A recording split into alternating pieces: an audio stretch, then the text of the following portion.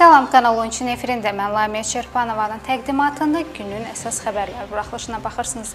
Ölkədə və dünyada baş verən ən son olaylardan anında xəbər tutmaq istəyirsinizsə kanalımıza abunə olmağı və videoların daha çox insana çatması üçün bəyənib paylaşmağı unutmayın.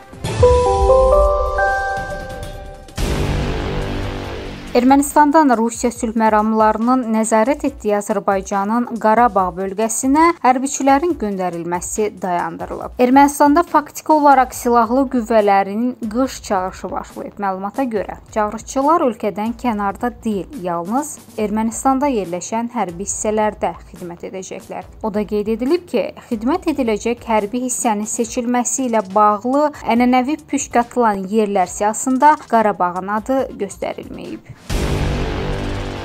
Bu arada Ermənistanın baş prokuroru Artur Davtyan Qarabağ ərazisinə qanunsuz səfər edib. Bu barədə Ermənistan TV məlumat yayıb. Məlumatda deyilir ki, Artur Davtyan bu gün Qarabağa səfər edib. Onun Xankəndi şəhərində Qarabağdakı qondarma rejimin başçısı Arayik Artunyanla görüş keçirdiyi deyilir.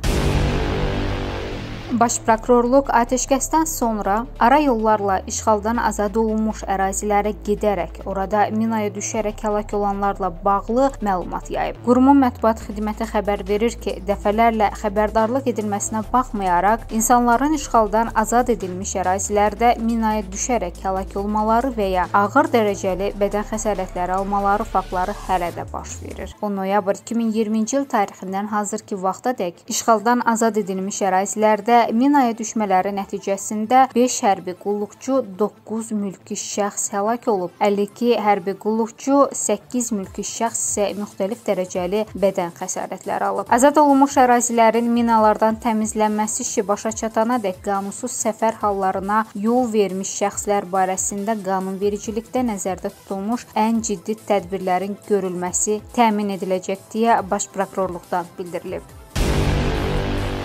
Azərbaycanın Xarici İşlər naziri Ceyhun Bayramov Böyük Britaniyanın Avropa qonşuluğu üzrə dövlət naziri Wendy Morton ilə görüşüb. Bu barədə Azərbaycan Xarici İşlər Nazirliyinin mətbuat xidməti məlumat yayıb. Tərəflərin iki tərəfli əməkdaşlığının inkişafı məsələlərini müzakirə etdikləri qeyd olunur. Xatırladaq ki, Wendy Morton fevralın 8-də Azərbaycana 2 günlük səfərə gəlib. Səhiyyə Nazirliyi Sputnik V vaksininin və AstraZeneca şirkətinin Oksford Universiteti ilə birgə işləyib hazırladığı vaksinin birgə tətbiqi üçün Azərbaycan Respublikasında kliniki tədqiqatların aparılmasına icazə verib. Nazirlikdən verilən məlumata görə bu tədqiqatların cari ilin fevral ayının sonuna qədər başlanması nəzərdə tutulur. Daha əvvəl Qamaliyeva adına elmi tədqiqat mərkəzi Rusiyanın birbaşa investisiyalar fondu AstraZeneca şirkəti və RP Haram şirkətlər qrupu koronavirus vaksininin hazırlanması sahəsində Rusiya prezidenti Vladimir Putinin iştirakı ilə 2020-ci ilin dekabrında əməkdaşlıq haqqında birgə memorandum imzalayıblar. Dünyada vaksinlərin ilk birgə tətbiqi 24 dekabr 2020-ci ildə qeydə alınan kliniki sınaqların protokolu çərçivəsində həyata keçirilir. Tədqiqatlar Sputnik V vaksininin və Oksford Universiteti ilə birgə AstraZeneca şirkəti tərəfindən işlənib hazırlanmış vaksinin kombinasiya edilmiş tətbiqinin immunogenliyini və təhlükəsizliyinin qiymətləndirilməsini nəzərdə tutur. Tədqiqatlar proqramı bir neçə ölkənin ərazisində 6 ay davam edəcək. Bu tədqiqatların aparılması hər ölkədən 100 könüllünün cəlb edilməsi ilə planlaşdırılır. Sahibkarlığın İnkişafı Fondu 2021-ci il üzrə strateji hədəflərini hazırlayıb. İdarə heyətinin sədri Kənan Nəcəfov bildirib ki, qarşıda duran əsas strateji hədəflərdən biri sahibkarların güzəştli maliyyə resurslarına çıxış imkanlarını genişləndirməkdir. Kənan Nəcəfov bildirib ki, cari ildə sahibkarlara 130 milyon manat güzəştli kredit verilməsi ilə yanaşı, pandemiyadan zərər çəkən iqtisadi fəaliyyət sahələri üzrə sahibkarlara 370 milyon manat yeni biznes kreditlərinin, bu kreditlərə 222 milyon manat məbləğində dövlət zəmanətinin və 58 milyon manat faiz subsidiyasını, eləcə də mövcud kreditlər üzrə faizlərin subsidiyalaşdırılması olmasına 80 milyon manat vəsaitin verilməsi proqnozlaşdırılır.